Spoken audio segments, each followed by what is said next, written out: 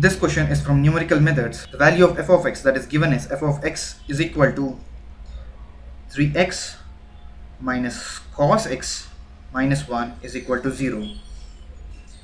So using Newton's Raphson method with the initial guess value of x0 is equal to 0.6 you have to find out the value of x1 the first step.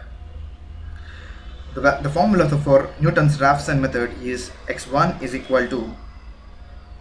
x0 minus f of x by f dash of x0 f of x0 by f dash of x0 so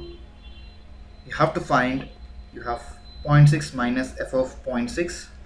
by f dash of 0.6 so f of 0.6 you will have 3 into 0.6 minus cos 0.6 minus 1 you will have the value of minus 0.025 your f dash of 0.6 first of all you have to derivate 3 plus sine x which is equal to 3 plus sine of 0.6 which is equal to 3.56 so you have f dash of 0.6 is equal to 3.56 so x1 is equal to 0.6 minus of minus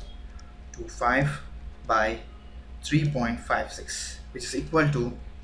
0.607 option D is the right answer